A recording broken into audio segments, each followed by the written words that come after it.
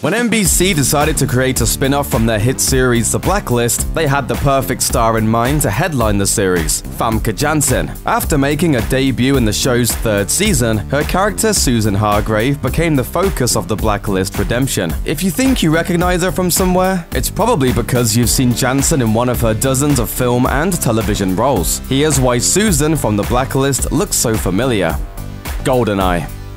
Janssen got her start as a model in the late 80s, but in the early 90s, she decided to transition to acting. She soon landed small roles on shows like Star Trek The Next Generation and in films such as Father and Sons. But her big break came in the 1995 James Bond film GoldenEye, where she played the sinister Russian agent Xenia Onatop. Xenia Sergeyevna Onatop. Onatop? Onatop. The character has become a fan favorite, consistently ranking among the best Bond girls ever. House on Haunted Hill Following the success of GoldenEye, Janssen was offered a number of roles. One of the most high profile was opposite Geoffrey Rush, as one half of the eccentric couple running the show in the 1999 horror remake House on Haunted Hill. The flick was a critical punching bag, but has become a bit of a cult favorite anyway.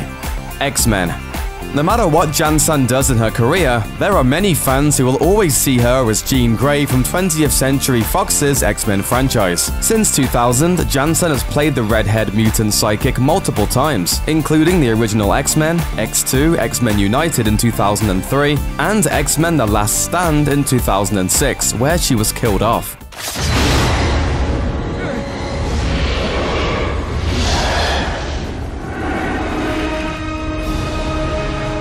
She later appeared in 2013's The Wolverine as a figment of Logan's tortured imagination, but thanks to some time travel shenanigans, she was returned to life for realsies in 2014's X-Men Days of Future Past. Nip Tuck a year after X2 hit theaters, Janssen landed a recurring role in the second season of FX's medical drama Nip Tuck. The primary antagonist of that season, transgender life coach Ava Moore, became a key recurring character, returning in season 6 for a major arc. Hide and Seek one of Janssen's stranger roles was in the psychological thriller Hide and Seek, where she played opposite Robert De Niro. Her part as family friend Dr. Catherine Carson wasn't large, but she figured prominently in each of the film's five different endings, and you thought the X-Men movies were hard to keep straight. Taken 20th Century Fox apparently didn't want to let go of Janssen following the original X-Men trilogy's conclusion, so they cast her as Lenore Lenny Mills in their Taken series. In 2008, she played the wife of Liam Neeson's Brian Mills, whose daughter is taken captive. Bad move, fools. Are a very particular set of skills. Skills I've acquired over a very long career. Skills that make me a nightmare for people like you. In 2012, she returned in a larger role, this time the victim of a revenge kidnapping. Neeson, of course, saves her too. Too bad he couldn't get the job done in 2015's Taken 3, where it's her life that gets taken at the start of the film. One of these days, one of Janssen's characters will eventually survive a trilogy. Hansel and Gretel, Witch Hunters. In between Taken installments, Janssen starred as the sinister Grand Witch Muriel in 2013's Hansel and Gretel Witch Hunters, a reimagining of the classic fairy tale. The film wasn't exactly a critical favorite, but it did well enough at the box office to warrant a sequel. Whether or not Janssen will be involved hasn't been announced yet. Even though her character died, don't count her out.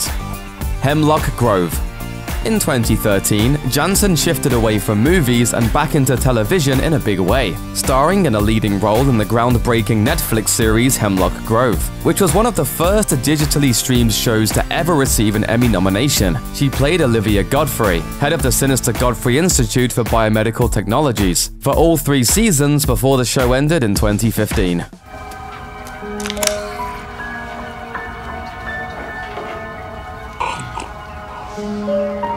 Yuck. How to Get Away with Murder.